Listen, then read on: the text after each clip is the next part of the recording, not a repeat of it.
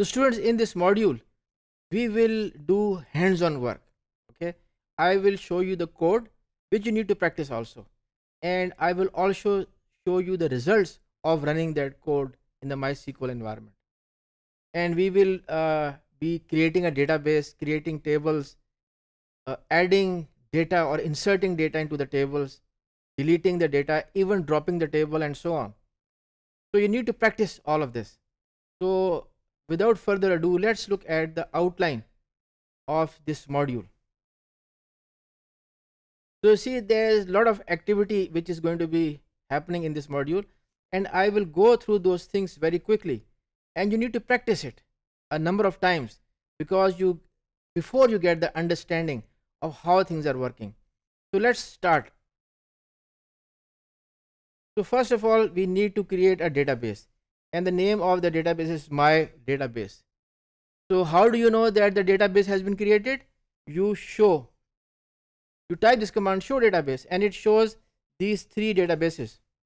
Okay. And here is the database which was created. The other databases are the ones which are used by MySQL. Understand this? Let's move ahead. So what we do now is that we create a table. We create a table and this table has a primary key which is the ID over here. This is the primary key. And before we use we have to type the command use database okay? Which is in the notes also. Use database right? And then of course we start doing things. Now remember one thing that you do not have to type this. This is this is this is the display which is done automatically by the uh, MySQL environment okay and remember that the keyword key or index is used instead of the primary key. So this is the table which was created and then we do the command show tables and this is the table fruit which was created. This is the table which was created okay? And explain fruit basically tells about this table that what are the contents of this table okay? Uh, what are the types of this different fields and so on. This is self-explanatory. This is the primary key okay this is the primary key over here. And it is auto increment. It means that whenever a record is entered okay the id is generated automatically by the system. This is i believe is very clear. Okay. Now we need to populate that table. We need to populate that table. And there are a number of ways of populating this table. This is one of the standard ways. So we insert this is the table name. Okay.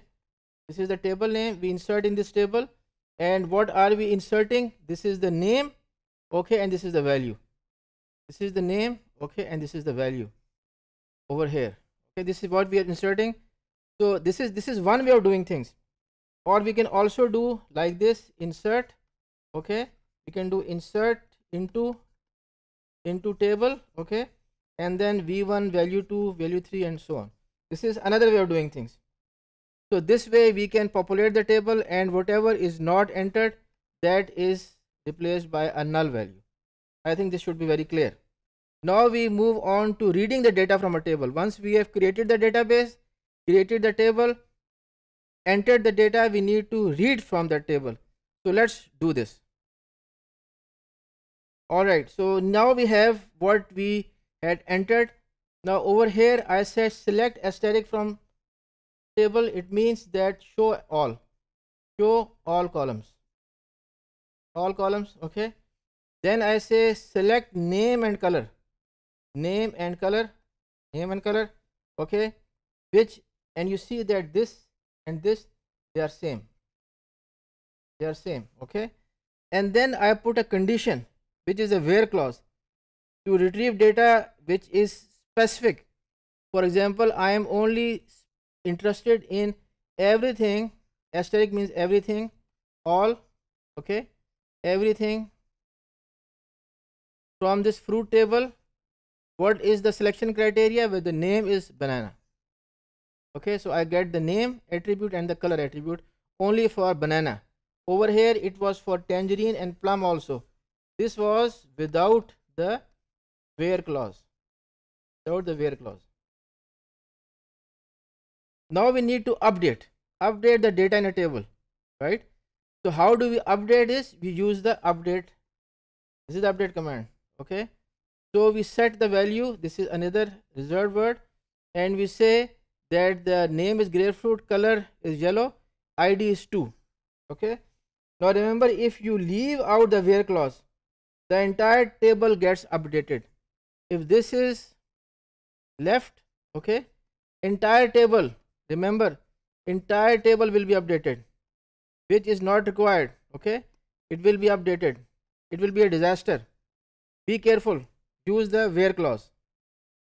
Now we created the table added data inserted looked at the data. Now we want to delete data from the table or the database. So i say delete from this fruit table where id is equal to 2 okay? So you see now 2 is gone.